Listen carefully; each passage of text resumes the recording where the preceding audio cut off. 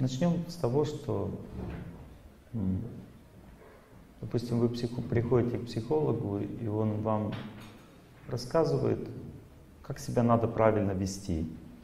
Вы начинаете себя вести правильно, и вроде бы все неплохо, лучше становится в отношениях, но потом вы говорите, у меня нет сил так правильно себя вести, у меня нет на это сил.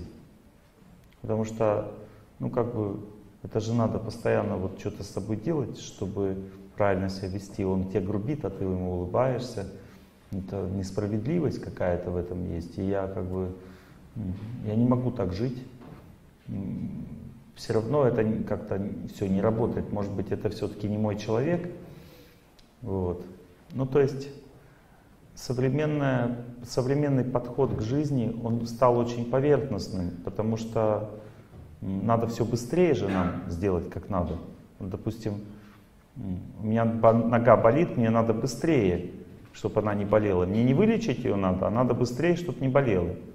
Муж ругает, допустим, надо быстрее, чтобы не ругал. Не изменить отношения, а быстрее, чтобы не ругал. То есть у нас жизнь стала более поверхностной, потому что ну, как бы потеряли ценность глубины. То есть в ведах говорится, что есть два типа результатов. Один результат это, ну, на санскрите называется преяс, от слова приятно русского. Ну, то есть это то, что вот сейчас прямо можно сделать. И вся современная психология, она основана на этом результате, что сейчас, потому что иначе люди не понимают, за что деньги платить. Вот я пришел, допустим, к психологу, и он мне говорит, вот делай так, и тебе сразу вот так. Он говорит, хорошо. Сделал так и сразу так. Ну, круто, классно, деньги платит, а отношения не поменялись.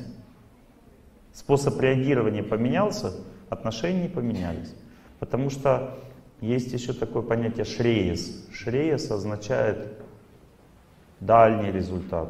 А чтобы получить дальний результат, нужно получать знания, нужно приходить на лекции, менять свой образ жизни, думать о том, как вообще менять свою судьбу, и тогда будет дальний результат уже. Ты можешь увидеть чудо вообще, что ну, как бы не, ну, вообще как бы все поменялось.